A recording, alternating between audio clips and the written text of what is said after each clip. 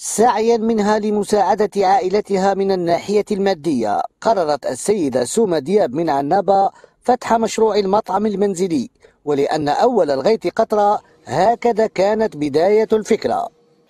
الفكرة كيفاه بدات كنت في الصيف أنا وأختي قاعدين نخمم حبيت نخمم في مشروع أنا وياها. قلت لها واش رايك نعملوا آه، هاك مشروع صغير بصح في الدار مش برا parce que نخاف خدمة تاع برا impossible راجل يقبل لي باها. هاي اقترحت عليها قلت لها واش رايك نطيبوا ون... وندير نحل فيسبوك ونكتب عليه سوما دياب مطعم منزلي. الأمور تطورت والعروض كانت غزيرة رغم أن الميزانية لم تكن كبيرة. كان عندي 200 ألف. ما نكذبش عليكم 200 ألف. هبطت شريت حوايج nécessaires بركة يعني تاع les boîtes ماشي quantité كبيرة. تاع كعبات قلت ça dépend ما كنتش عم بالي أنا راح يجيني طلب ولا قلت لهم كاين غدوة كوسكسي روحت بداو يجيوني طلبات الحق عيطوا لي صباح وسوما كوسكسي خلينا كوسكسي خلينا.